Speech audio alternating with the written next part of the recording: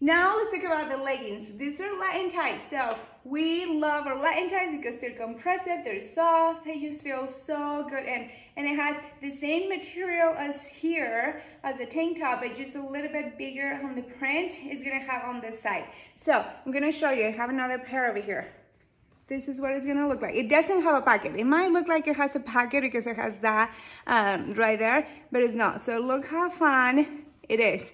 And this one is more of a, this one has feels a little bit velvety. This one has more of the Light n Tight feel. This is not gonna be velvety because uh, on the leggings that you can cut a lot of dirt and stuff that you don't want on your leggings. So light Latin type material and then the best part about this, and this is the first time we do this, we have all four lanes on these leggings. So you can't get sad because they're too long or because they're too short or because you don't have excuses. So we have 17 inch, that is the crop.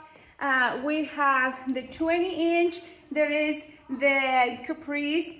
There's 24, that is 7-8, that is perfect, it's my favorite, 7-8s are my favorite.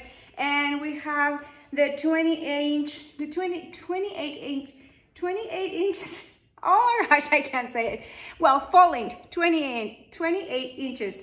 Anyway, I can't say that. So we have all four lanes in these beautiful leggings. So you have, we have something for everyone, high-waisted, no pockets, and then you have all four lanes to choose from.